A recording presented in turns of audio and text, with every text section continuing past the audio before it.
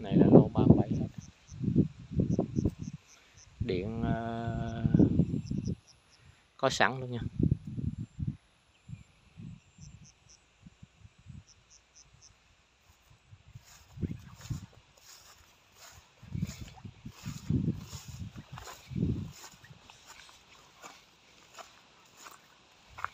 Đường đường thì cát cát quá trời cát lúng luôn